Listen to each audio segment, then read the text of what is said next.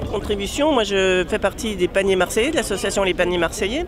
Donc notre contribution, c'est d'expliquer qu'il faut absolument une relocalisation de l'agriculture à proximité des bassins de consommation. C'est-à-dire qu'on doit absolument installer, préserver du foncier et installer de nouveaux agriculteurs, maintenir ceux qui sont déjà en place et installer de nouveaux agriculteurs à proximité de Marseille. Espérez beaucoup. Maintenant, euh, si on est réaliste, euh, je crains que ce soit encore une grand-messe de plus. Euh, mais par contre, euh, on a rencontré un certain nombre d'associations, de porteurs de projets, dont on a échangé toutes les adresses et tout ça. Et je crois beaucoup en la force du mouvement associatif, en la force de la société civile.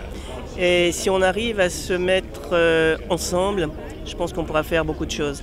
je reviens sur l'agriculture et bien évidemment il s'agit d'une agriculture biologique agroécologique, non consommatrice de pesticides et donc d'énergie fossile.